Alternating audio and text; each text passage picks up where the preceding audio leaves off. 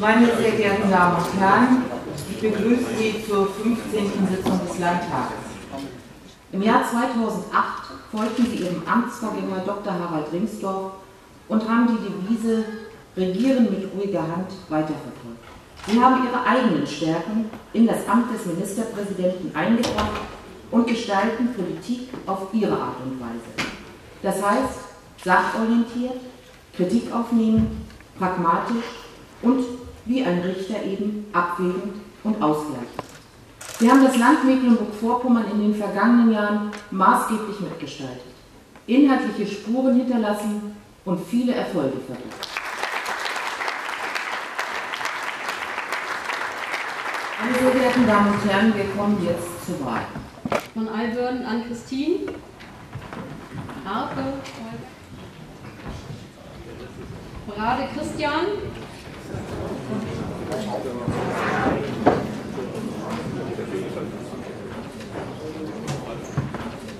Es stimmten für Frau Manuela Schwesig 40 Abgeordnete mit Ja, 29 Abgeordnete mit Nein, ein Abgeordneter oder eine Abgeordnete enthielten sich. Damit ist Frau Manuela Schwesig zur Ministerpräsidentin des Landes Mecklenburg-Vorpommern gewählt. Ich frage Sie, Frau Schwesig, nehmen Sie die Wahl an? Sehr geehrte Frau Präsidentin, ich nehme die Wahl an.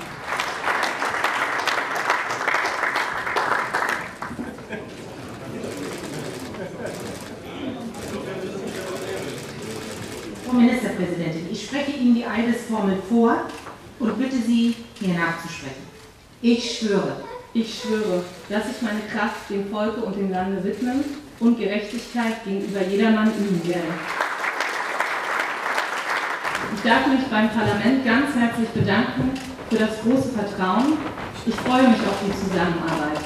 Es ist für mich eine große Ehre und Verpflichtung zugleich, Ministerpräsidentin unseres wunderbaren Mecklenburg-Vorpommerns zu sein. Und ich darf den Menschen versichern, dass ich mit aller Erfahrung, Kraft und Leidenschaft dieses Amt ausführen werde zum Wohle unseres Landes. Vielen Dank.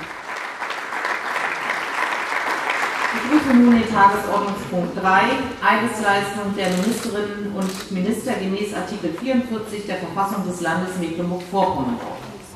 Ich schwöre, dass ich meine Kraft dem Volke und dem Lande widmen, meine Pflichten gewissenhaft erfüllen und Gerechtigkeit gegenüber jedermann üben werde.